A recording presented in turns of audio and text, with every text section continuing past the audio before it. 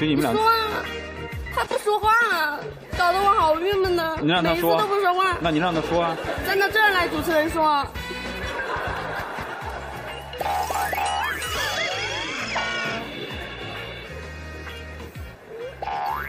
恭喜你捡到宝了。别这样好不好？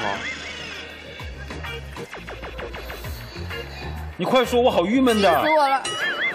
快说，我们之间真的不合适。为什么不合适？你说为什么不合适？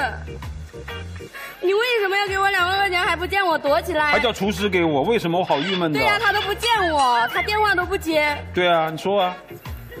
算了，我还是别哭。哇，你的哭还是可以控制的化妆了怎么办呢？啊。刚刚都到这儿了，我擦刚刚掉了，刚刚都到了这儿，差点掉下来。我擦掉了。如果化妆了怎么办？你真的是个宝，真的是个宝啊！来介绍一下自己。主持人好，大家好，我叫周瑞峰，现在在长沙经营一家火锅店。你今你知道今天来干什么吗？知道，你为什么要来？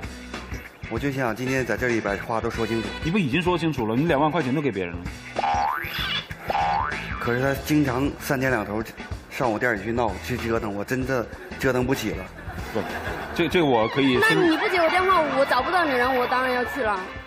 不是你当初不是挺喜欢人家吗？你还说了喜欢别人，怎么现在这变折腾了呢？是我之前很喜欢他，嗯，可是后来我发现不适合。